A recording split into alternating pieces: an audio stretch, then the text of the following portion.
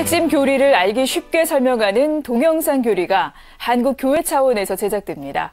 다음 달 열릴 주교회 추계 정기총회에서 다룰 안건도 확정됐습니다. 지난 18일 열린 주교회의 상임위원회의 주요 결과를 남정율 기자가 보도합니다.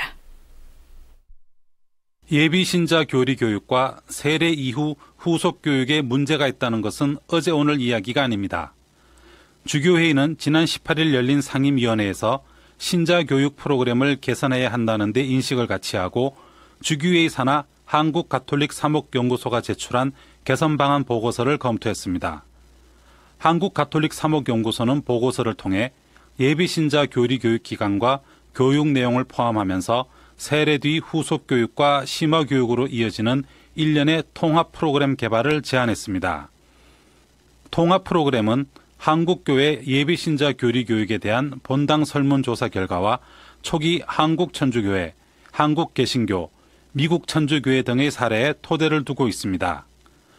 상임위원회는 또 핵심 교리를 알기 쉽게 설명하고 시대적 요구에 부응하는 동영상 교리 제작이 필요하다는 데 공감하고 한국 가톨릭 사목연구소가 제안한 동영상 제작 기획안을 승인했습니다.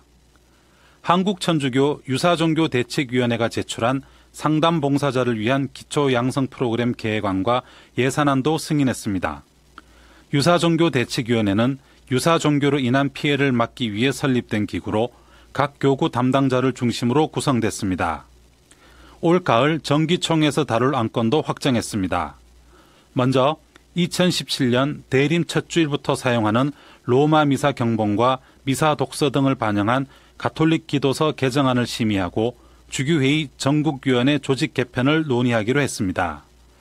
제주 4.3 70주년의 신학적 성찰과 사목적 대안, 한국 사제 양성 지침 개정 소위원회 설치, 그리고 내년 서울에서 열리는 제4회 한국 청년 대회에 대한 계획도 보고받기로 했습니다.